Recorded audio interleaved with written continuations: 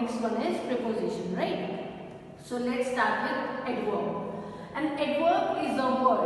Adverb वो शब्द है जो that qualify a verb यानी कि कोई भी verb यानी कि क्रिया की विशेषता बताता है या क्रिया में क्या काम हो रहा है वो बताता है या फिर एडजेक्टिव में क्या काम हो रहा है वो बताता है या किसी भी एडवर्ब में लगकर वो उसको बताता फॉर एग्ज़ाम्पल जैसे कि ब्रेव एक एडजेक्टिव है, विशेषता है बहादुर होना उसके आगे मैंने एल वाई लगा दिया। तो एल वाई जैसे ब्रेव के अंदर लग जाता है तो हो जाता है एडवर्ब राइट ऐसे मेरा फास्टली फास्ट मेरा क्या है? तेज, यानी कि मेरा एडजेक्टिव है।